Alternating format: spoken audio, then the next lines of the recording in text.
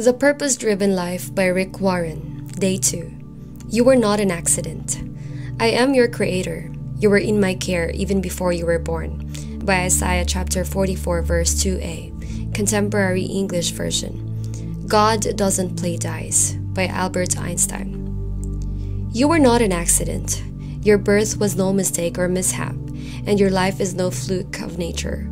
Your parents may not have planned you, but God did. He was not at all surprised by your birth. In fact, He expected it. Long before you were conceived by your parents, you were conceived in the mind of God. He thought of you first. It is not fate, nor chance, nor luck, nor coincidence that you are breathing at this very moment. You are alive because God wanted to create you. The Bible says, The Lord will fulfill His purpose for me. God prescribed every single detail of your body. He deliberately chose your race, the color of your skin, your hair, and every other feature. He custom made your body just the way He wanted it. He also determined the natural talents you would possess and the uniqueness of your personality. The Bible says, You know me inside and out. You know every bone in my body. You know exactly how I was made, bit by bit, how I was sculpted from nothing into something. Because God made you for a reason, He also decided when you would be born and how long you would live. He planned the days of your life in advance, choosing the exact time of your birth and death. The Bible says, You saw me before I was born and scheduled each day of my life before I began to breathe. Every day was recorded in your book. God also planned where you'd be born and where you'd live for His purpose. Your race and nationality are no accident. God left no detail to chance. He planned it all for His purpose. The Bible says, From one man He made every nation, and He determined the time set for them and the exact places where they should live. Nothing in your life is arbitrary, it's all for a purpose. Most amazing, God decided how you would be born. Regardless of the circumstances of your birth or who your parents are, God had a plan in creating you. It doesn't matter whether your parents were good, bad, or indifferent. God knew that those two individuals possessed exactly the right genetic makeup to create the custom you He had in mind. They had the DNA God wanted to make you. While there are illegitimate parents, there are no illegitimate children. Many children are unplanned by their parents, but they are not unplanned by God. God's purpose took into account human error and even sin. God never does anything accidentally, and He never makes mistakes. He has a reason for everything He creates.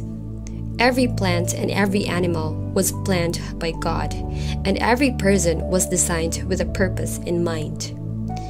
Long before you were conceived by your parents, you were conceived in the mind of God. God's motive for creating you was His love.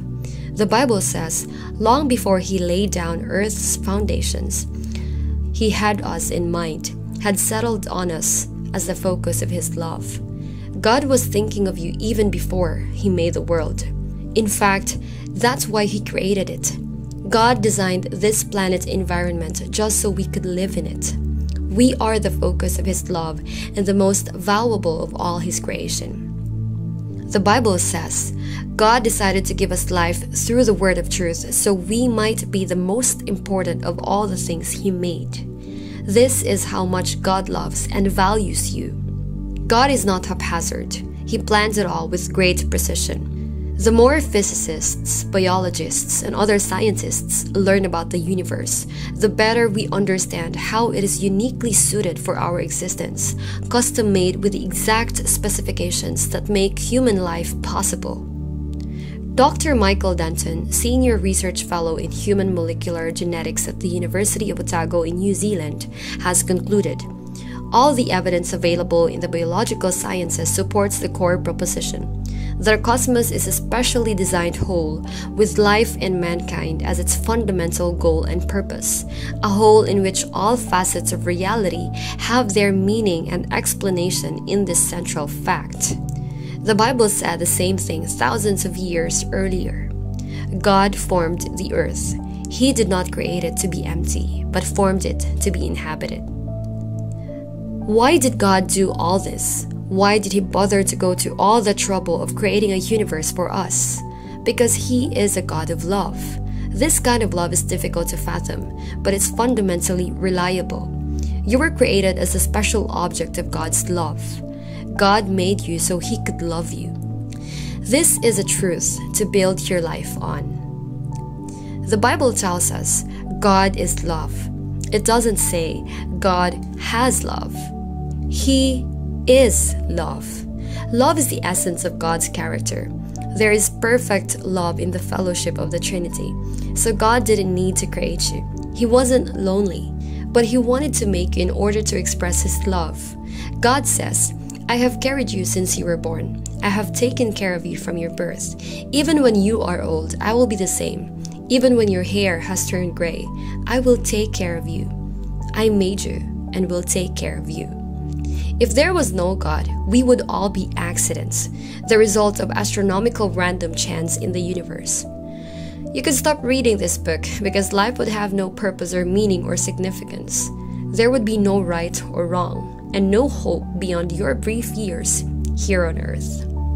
But there is a God who made you for a reason and your life has profound meaning. We discover that meaning and purpose only when we make God the reference point of our lives.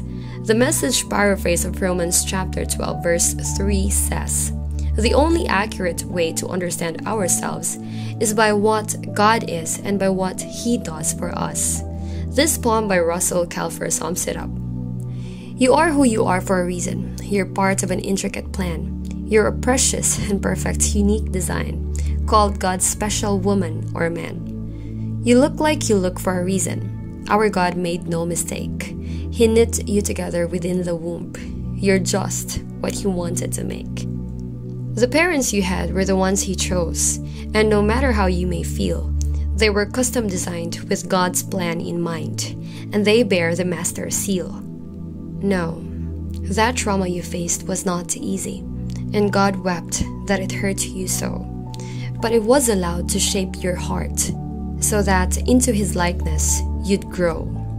You are who you are for a reason. You've been formed by the Master's rod. You are who you are, beloved, because there is a God. Day 2 Thinking about my purpose. Point to ponder. I am not an accident. Verse to remember. I am your creator. You were in my care even before you were born. By Isaiah chapter 44, verse 2, Contemporary English Version. Question to consider I know that God uniquely created me. What areas of my personality, background, and physical appearance am I struggling to accept?